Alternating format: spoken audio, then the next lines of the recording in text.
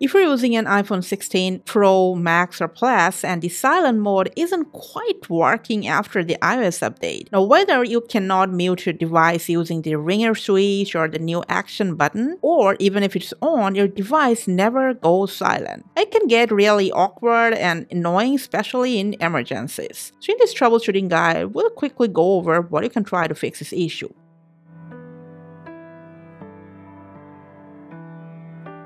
Now, first of all, if you cannot use your ringer button to mute your phone, just open up settings. From there, go to action button.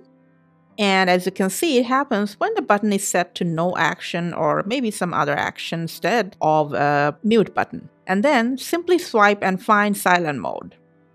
And after that, just get out of there. It'll be set to your ringer switch. And what you're gonna do is just kind of press and hold this button, not just one tap and your device will go to silent mode from Ringer. Now, if somehow the switch is still not muting your device, sometimes this might happen for minor software glitch. So in that case, we can just force restart your iPhone. Quickly press and release the volume up and down button and keep holding down the side button till you see Apple logo on your screen.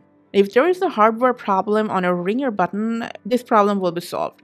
But just in case the mute mode is still not working on your iPhone, Apart from this button, there is your workaround. Just swipe down your control center, and from here, you can silence your device whenever you want.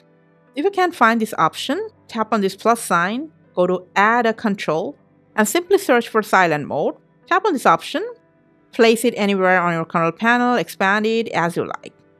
And you can mute your iPhone from here apart from the ringer switch. And these are all the easy processes you can try to solve the mute mode not working on your iPhone. Thanks for watching.